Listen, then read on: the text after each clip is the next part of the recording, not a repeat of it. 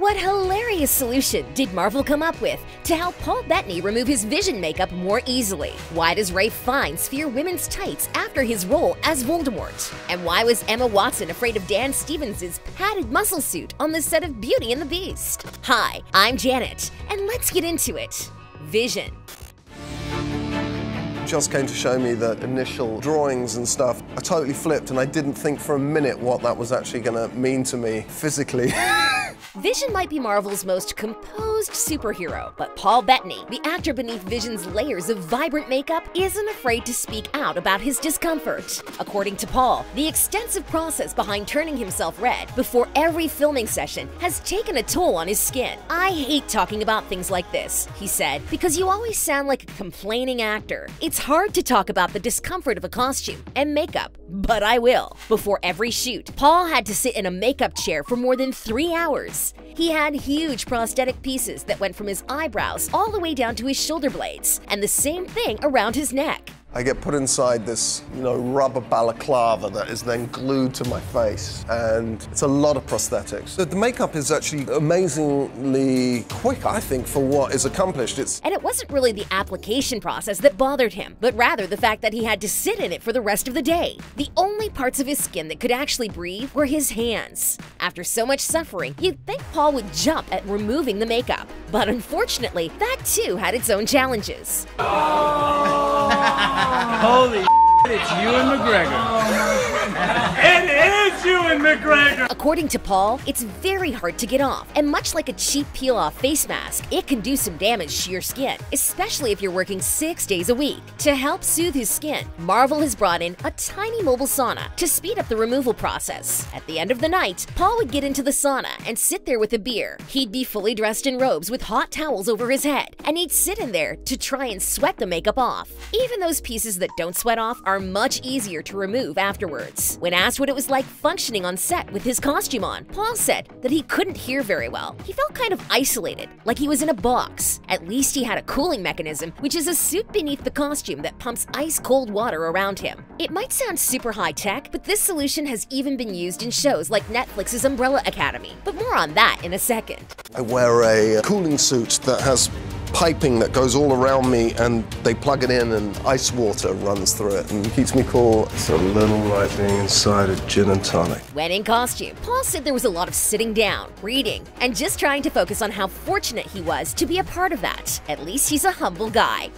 Voldemort. Rafe, you hate prosthetics and things, don't you? I don't love them. No. But don't you like you choose jobs to avoid them? After Voldemort, I did. I have.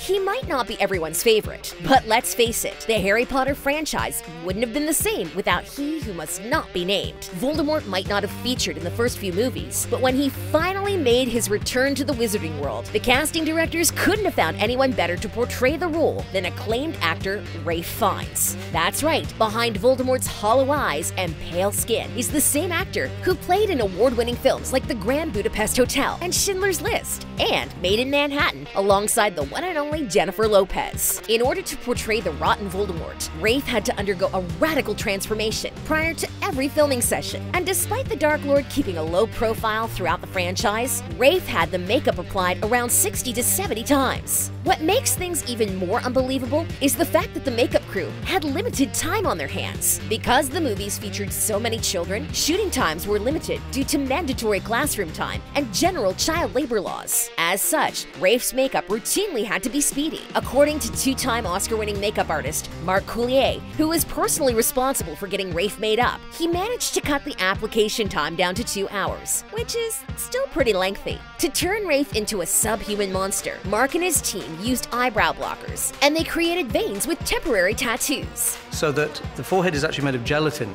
just basically ordinary household gelatin which is translucent, but it enables us to cover up his own eyebrows because he wouldn't want to shave his own eyebrows off. They used dark eye makeup around his eyes, as well as fake fingernails, teeth, and even some paint on his hands. Despite all the cosmetics, though, there was one element to Voldemort that couldn't be created through the magic of makeup. That's right, it's his flat, snake-like nose, which becomes more and more exaggerated as the series continues. Instead of relying on practical effects, the filmmakers opted for a bit of digital wizardry. Every time Rafe appeared in a shot, his nose had to be carefully edited out, and his snake-like nostrils added. my nose down into place. As for his costumes, Rafe apparently had quite the comical situation happening under his flowing robes. In an interview with Graham Norton, the actor admitted that he couldn't handle the women's tights which he was originally given. What happened was that the tights used to work their way down, so the, gust, the gusset of the tight was sort of around my knees.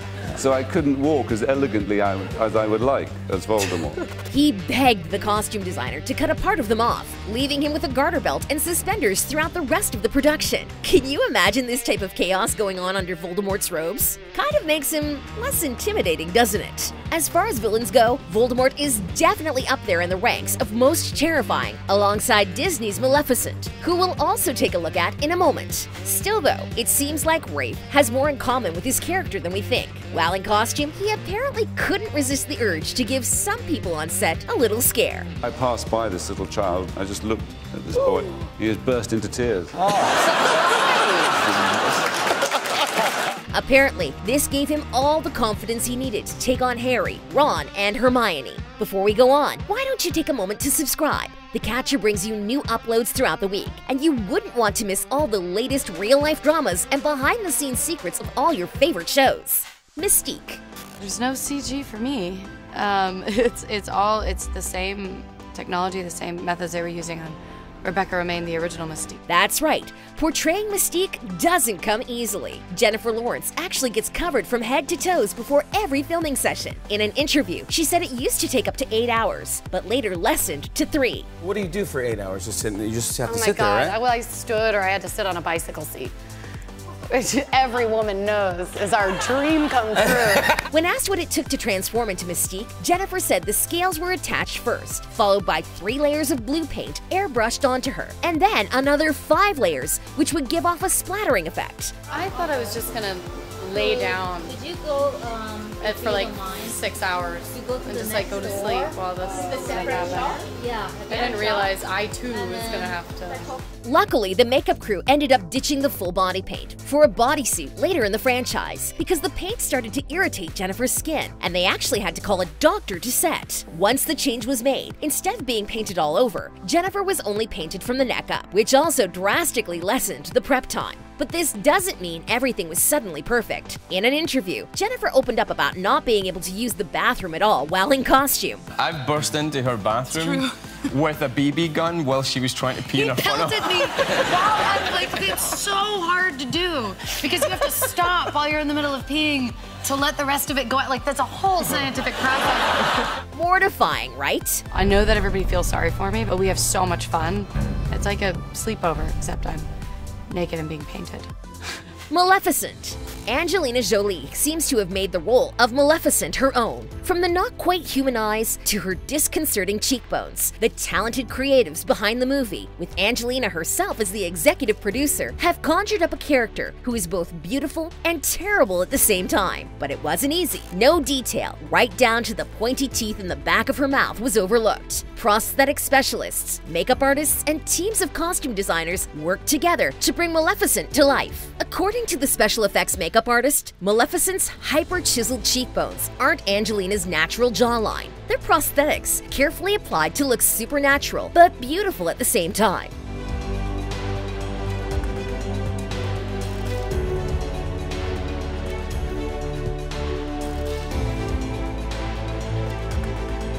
Apparently, Disney were very nervous in the beginning, fearing that Angelina might become unrecognizable. But Angelina herself insisted, and only after agreeing to have executives at the first few makeup tests did the network sign off on it. Originally, Maleficent was supposed to have a prosthetic forehead and chin as well, but that ended up being scrapped, as it made Angelina look too devilish. When it came to the villain's skin, Angelina didn't want it to be green, like the original animated Maleficent's, as it might have been too distracting. It wasn't natural either, so they settled on a shade quite a bit paler than Angelina's natural skin tone. It took about three hours to apply the makeup and one hour to remove it every day. Angelina was in full makeup for 70 days, often more than 16 hours at a time. She couldn't apply moisturizer before coming to set, and the makeup artist still ended up stripping her face of any oil before applying the prosthetics. Sounds harsh, right?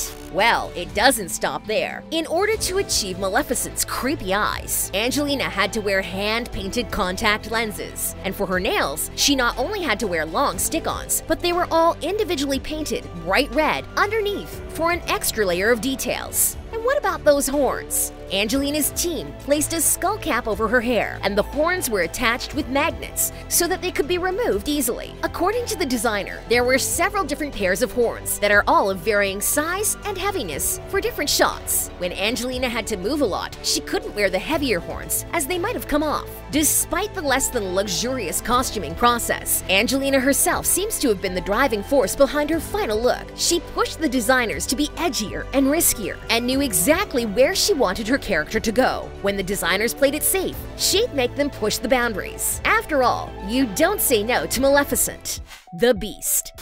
Puppeteering the suit for the motion capture Disney's live action remake of Beauty and the Beast was an instant hit, reaching the box office rank of the 10th biggest movie of all time. Whether this achievement is due to the stellar actors, breathtaking cinematography, or the touching music, definitely know the costumes have had to play a part. So, how did the production team turn human actor Dan Stevens into the iconic animal man, the Beast? Believe it or not, CGI is just that good these days. On set, Dan wore a tracking suit, bulked out with padding to represent the size and shape of the beast. This was only used in scenes where the beast had to interact with Belle, such as the ballroom scene. In addition to the padding, Dan also had to occasionally walk around on springy stilts to achieve the appropriate height for his character. Crazy, right? Dan's facial expressions were captured and applied to the beast's animation. But because his expressions couldn't always be caught clearly on set, Dan had to come in after hours to be filmed in a booth. And my face would be sprayed with about 10,000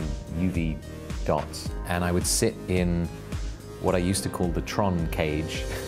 It was sort of UV, UV lights and 27 little cameras. It's not as glamorous as the castle ballroom, but it definitely worked. In terms of the beast itself, another custom tool had to be used to simulate the beast's flowing hair. Each of his hairstyles were called a groom because they needed several for when the beast is outside fighting, primping himself for his date, or just interacting with Belle on a daily basis. The most difficult scene? The ballroom scene, of course. Emma Watson performed the scene with Dan in his muscle suit, and the visual effects team was called upon to help sell the highly emotional moment. They had to make the beast look like he's in love, but also like he's not sure how to behave. There was a lot of change happening in his facial expressions, and also the stature of his body. And the biggest problem of all, Emma Watson was absolutely terrified of dancing with Dan on stilts. Which was slightly terrifying for me, but probably more for Emma. I think she was very worried that I was going to tread on her toes in steel stilts, um, which could have ruined the movie, uh, but I didn't. Luther Hargreeves. You know him from Netflix's Umbrella Academy, the big and oddly proportioned superhero with a type of clumsiness to him. His secret? From the neck down, Luther is not a man, but a gorilla man hybrid. Of course, Tom Hopper, the actor behind Luther Hargreeves, knew his character's secret all along. I looked at the comics before I was cast, he said, and I was like, oh my god, this guy is a human head on a gorilla body. This is nuts! Rightly so.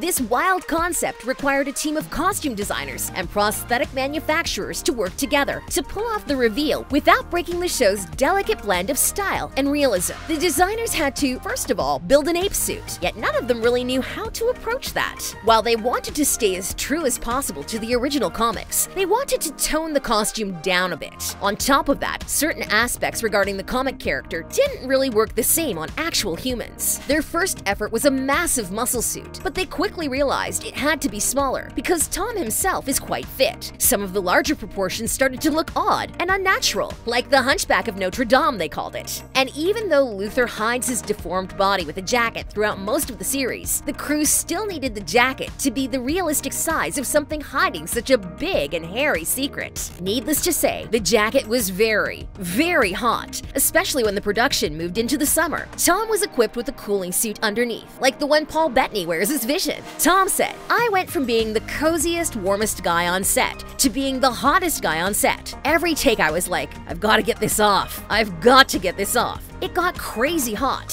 When making the final gorilla suit, the team took a mold of Tom's body from the neck down, and they began the process of making it look hairy, like an ape. Rather than apply strips of hair in bunches, each strand was hand sewn into the suit. While this was really time consuming, it did allow the team to focus on more subtle details, like scar tissue from Luther trying to remove the skin. This added another layer of depth to his character. Even though the gorilla body only makes several prominent appearances, it was really delicate and easily broke down in action-packed scenes. The rave in which Tom danced in the bare-chested suit for hours posed a particular risk. According to the actor, he destroyed it more than he did when punching in it. On top of that, Tom was absolutely dripping inside the suit from the heat. He couldn't take a break and he couldn't go to the bathroom. That's why he made sure he did everything he had to before getting into that suit. Hopefully, now that season 3 is on its way, they found a way to make things easier for Tom. We can only hope, right? Which one was your favorite costume? Let us know in the comments below. Thanks for watching!